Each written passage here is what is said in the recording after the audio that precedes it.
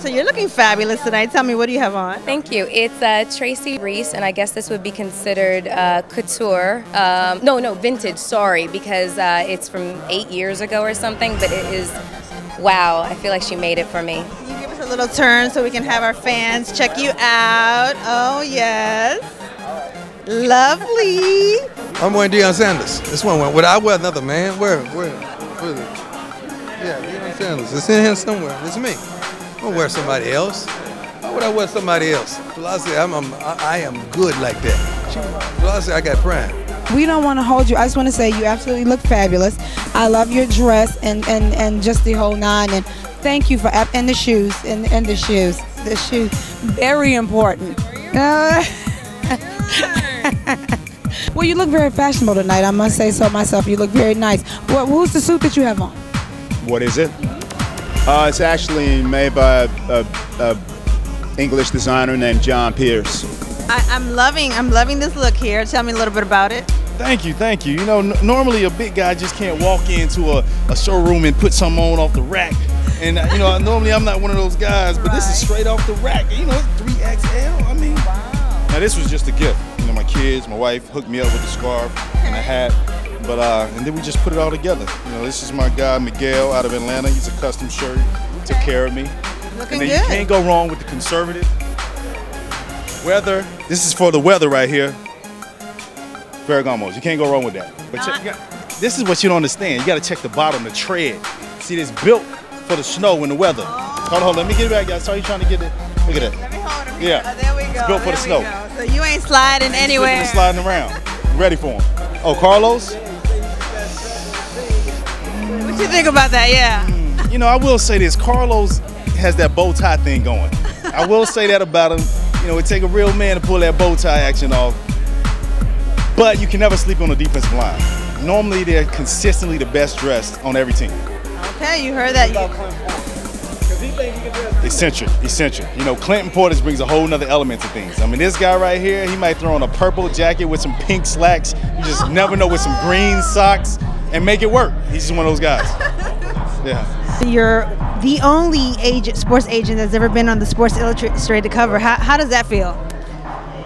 Well, you know, I enjoy this profession. I've been doing it 22 years, so uh, this is fun. Been to a lot of the Super Bowls the last 20 some odd years. I've been to all of them actually, uh, and I love what I do. I love being out here with the guys, and uh, you know, everybody strives to be the best in their given profession, and that's what I try and do every day to do the best job I can for my clients.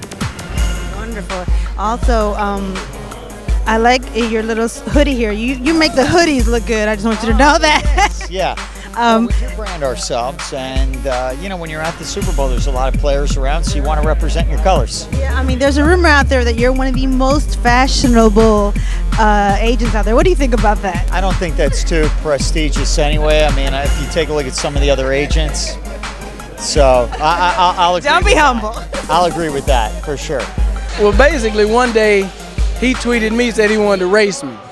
And then I was like, well, come on, you know. I mean, me and Banks are already supposed to put something on, so we told him to join in, and, and he basically kind of challenged me and Banks as well. So this is something we're trying to get doing, get done. I saw him last night, but he wasn't trying to race then. So, Ocho Cinco, come on, let's race, let's get this done. So tell me, are you ready? Hopefully I am. You know, I'm praying every single day to hopefully, you know, when the time comes, I will be ready. So you've officially declared yourself eligible for draft now, right? Absolutely, absolutely. I'm taking that next step, turning that chapter over, and uh, hopefully beginning a new chapter in my life. I noticed you got yourself a little trinket for the wrist there. Yeah, yeah, I, I like watches. I'm, I'm a watch guy, so I figured I'd grab me something while I'm here. nice. What are your guys' plans for the rest of the evening? I, I, I, I heard Here, let me. There we go. There's plan one and there's plan two for the rest of the evening. You're looking mighty dapper today. Well, gosh, thank you, especially if you're making that comment with all these fit athletes down here. So, then again, even if she's not telling the truth, I'll I take am. it. So I am telling the truth. I'll take it. What is your favorite technology startup? Uh, right now, uh, well, there's about two or three at the top of my list, but uh, Flipboard, fantastic. Uh, Bump Technologies and Square, uh, a company that uh, Jack Dorsey, co-founder of Twitter, created. I, I love those companies. Okay, well then that's fabulous to hear. And what brings you out to the Maxim party tonight? Uh, we come out to party. We come to the party to party. I know how to do that. Yes, you do, and you sure look handsome. I love your suit. By the way, who are you wearing? Uh, I'm wearing something I have made for me. this is an MCM original. What is your definition of swag? definition of swag is just feeling good. You know, feeling good and looking good. Regardless of what you're doing, whether you're playing ball or you're just walking down the street. If you feel good, you play good. If you feel good, you feel like you can do anything, you can accomplish anything. That's swag. Just feeling good. Like I got swag right now. I feel real good. Yes, you do. You got lots of swag right now. Thank you, baby. Well, my friend lives in Texas, so we just flew over today to have dinner. I'm going to go to the Super Bowl tomorrow because it's my first time ever. And I thought I would check out the Maxim party while I'm here. Why not? Yes, why not? Oh, so you're actually going to the game? We're going to the game, yeah. Tomorrow. It's going to be very exciting. So who do you want to win?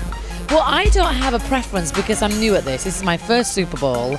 And, you know, in England, we're all about our football. So this is new for me. If we're going to be talking about lifestyles, we need to talk about cars. And who better to talk about cars than Kamatni Rollins himself, CEO of Automotive Rhythms. How are you today? I'm good, darling. It's a little bit cold out here. We're down here in Dallas for Super Bowl 45. Um, but you know, we prepare for anything. We run into a Porsche Performance Experience out here at the Rosewood.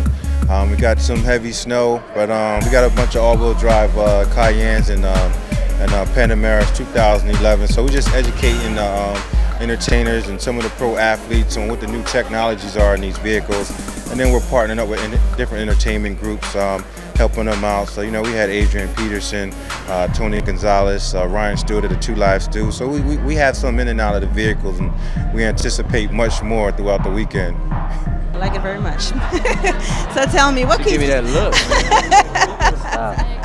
what keeps you so grounded? Uh, what keeps me so grounded? I, I, got a great team around me. You know, I was raised very well. I credit a lot of that to my mother and my grandmother. And, uh, you know, furthermore, I'm just a man. You know, at the end of the day, no matter how many hit records I have, no matter how many people love me, I'm just a man. We hear a little rumor about a reality show.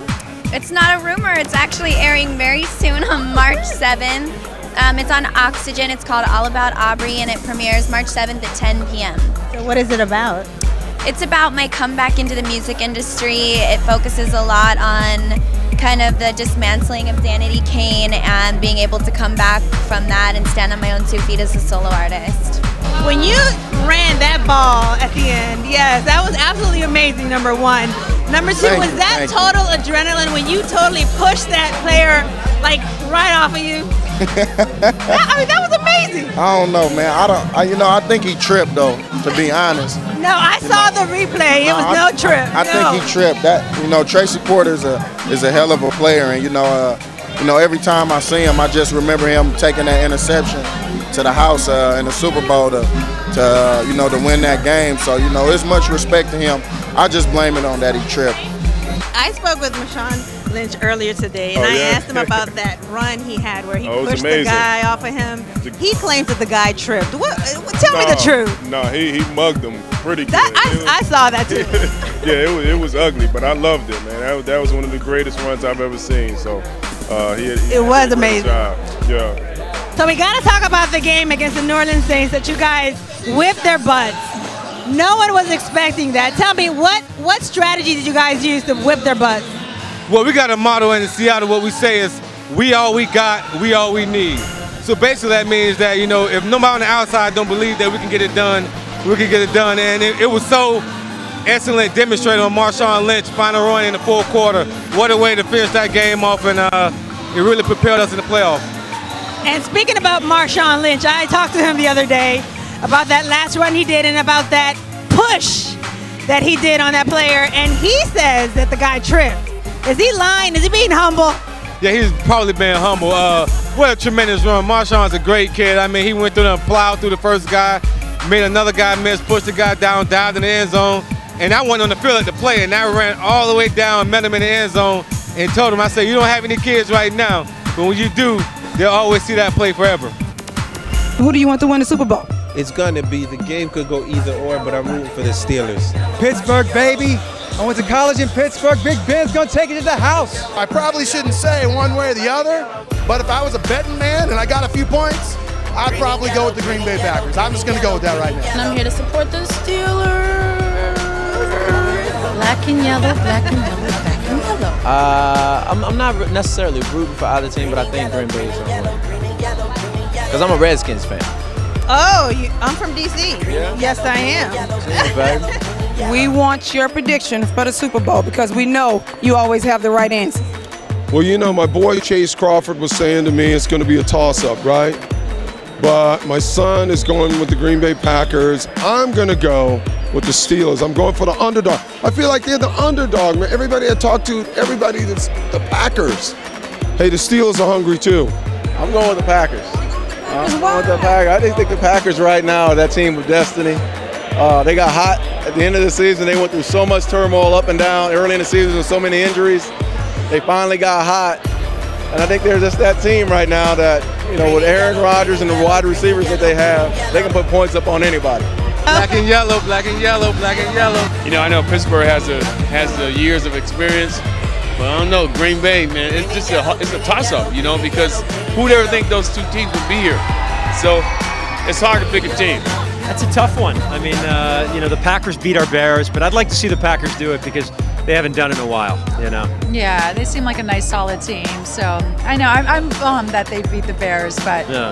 but you know what? I think they're a better team overall. So I think the Packers. Great. Well, guys, you are. Said five minutes ago. No, I didn't She did an interview over there, and she said, "I think the Steelers no, are going to win." No, no, that's not true. I said the Steelers should win because the Packers beat the Bears. Okay. But but I can't be like that. I can't be bitter. I can't be bitter Betty. So you know the Packers deserve it more. They're a better team. I've watched the game with my dad since I was a little kid, so I have an intense love for the game itself. So I'm really excited to see Green Bay and the Steelers, and I'm putting it out there.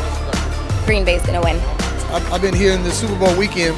A lot of people say, well, well, if the Steelers win another Super Bowl, then they've won more Super Bowls than anybody else, so they're going to be America's team. No, the Steelers, that's my hometown. I love the black and gold, but they're, they're the, Steeler Nation. That's what they are.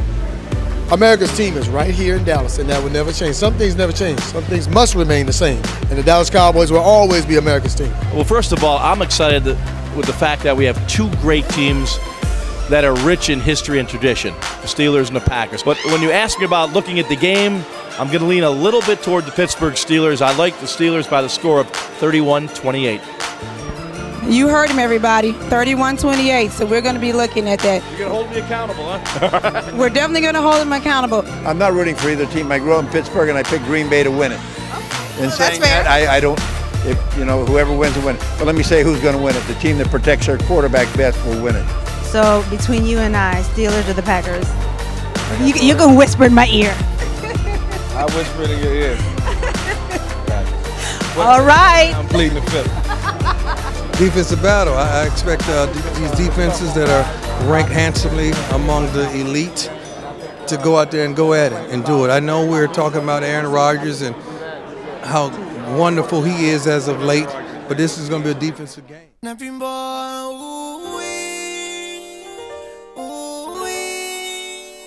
Everybody say yeah.